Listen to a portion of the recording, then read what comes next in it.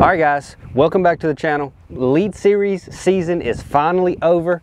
I shouldn't say finally, I'm pretty sad to see it be over. We got nothing to do now until like February of next year. So I'm gonna take y'all through the rods that I used the most this year. These are the ones that bailed me out in every single tournament. These are the ones I caught the majority of the fish on. Now this is not every single bait and rod that I caught every fish on, but this is the ones that I had on the front deck the most this year and I caught the most fish consistently on. So if you wanna start a you know, a, uh, just a few rods or a few baits that you want to develop confidence in. These are the ones that I went from Florida to New York and then down to Texas and caught fish on consistently. So without further ado, I'm gonna show y'all the rods, I'm gonna show y'all the line, everything that I used exactly for each setup. So y'all already know which one that I like to throw the most. I kept this sucker on the front deck all the time, caught fish on it on the very first event from St. John's, all the way down to Santee, caught some up north on it, caught, uh, didn't catch any in Texas on it, but caught some on uh, Chickamauga on it, all over the country. I caught fish on this consistently, and this is a seven foot six heavy,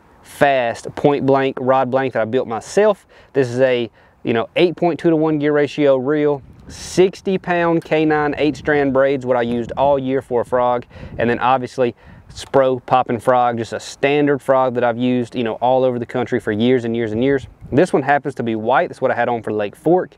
And I did have some bites on that, but none in the tournament. Didn't even throw it in the tournament. area. took it out of the rod box, but that's it. That is the frog rod that though I did upsize the handle on this on this reel to give me just a little more power and so I didn't bust my knuckles quite as much on the hook set but that's my frog rod 7.6 heavy 60 pound K9 9 strand that's actually 60 pound K9 8 strand braid and all my dang five number five guides I put on this rod so absolutely in love with this rod it's my frog setup right there all right Straight to another one that y'all see me throw all the dang time. This is the exact chatterbait that I was throwing on Guntersville. This is a Z-Man jackhammer chatterbait and I throw this on a seven to one gear ratio reel. This is a seven foot three medium heavy fast point blank that I built. I put all titanium guides on this one. And you see I've got the hook keeper there for the, that's the kind of hook keeper I like for reaction baits that have open hook like that. So this is a green pumpkin jackhammer. I throw this thing, you know, the white one, green pumpkin, black and blue, whatever. I had a chatterbait laying on the front deck all the time.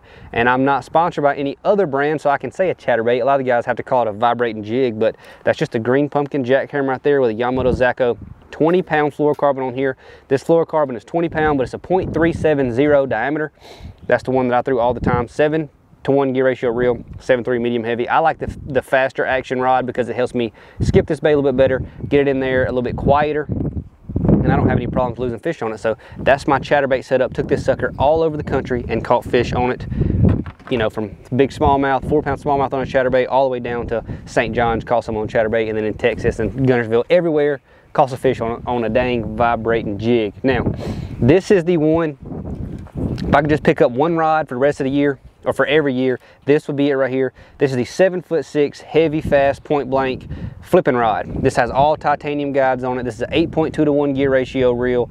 It has 25 pound fluorocarbon on it. That's my standard on here. It's 25 pound, you know, a really high quality fluorocarbon. My standard flipping rod that I leave on the front deck at all times is a half ounce weight pegged to a 4-aught Gamakatsu you know, just a regular heavy cover flipping hook. And then this right here happens to be a Missile Baits D-Bomb in green pumpkin, but this is just the 7.6 heavy fast, 25 pound fluorocarbon. It'll get them out of heavy cover and it gets bites when it's tough. It's just a really, it's a confidence bait for me. Caught a ton of fish in like every single event I caught a couple of fish doing this exact technique right here. So it's one of my favorites right there. Always, always, always on the front deck.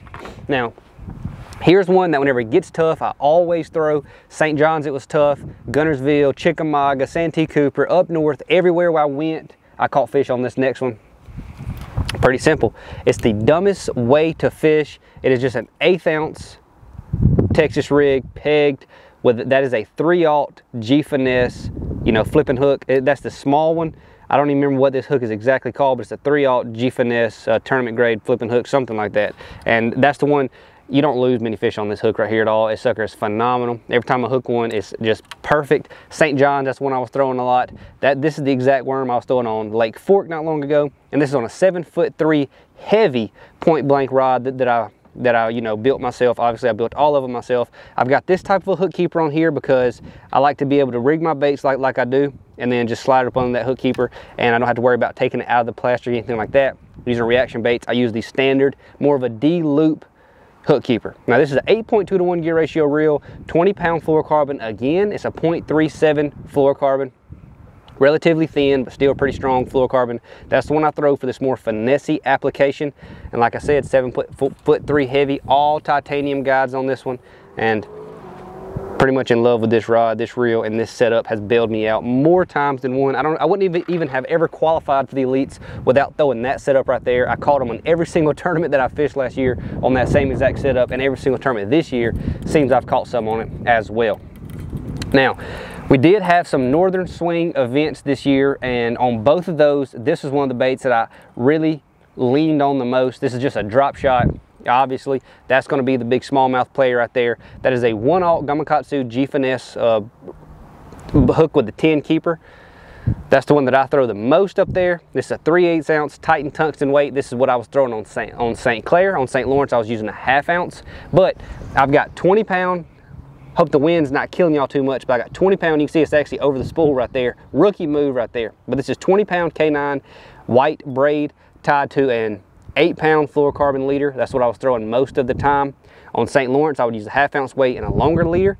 On St. Clair, I was using a three ounce weight and a little bit shorter leader. So this is a seven foot medium light fast spinning rod but this rod actually has a little bit more power than most of your medium lights this is actually more like a medium spin rod and this has all titanium guides on it it's got the kr concept fuji's on it the point blank rod this is a seven foot medium light like i said i built this myself built all of myself and you can see the hook keeper that i have on here. That's a little drop shot hook keeper that i like. Just like that put my weight down and i've got you know a weedless application it's a 2500 size reel. That's the size that I like. It's just small, really light. It's got a little bit slower gear ratio than the 3000 HG does, or the 3000 actually comes in an XG, I believe, but this is the one that I like. I just love this size reel. Feels really good in my hand. This, this setup is so light.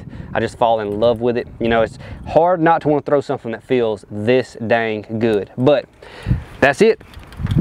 Probably gonna be one of the last videos right there regarding the Bassmaster Elite Series. So once again, I need to thank my sponsors, Alliance Insurance Group, Untamed Tackle, Fuji Point Blank, like I just gave them a lot of love right there. Top Fishing Deal's been a good one. Titan Tungsten, thank you all y'all.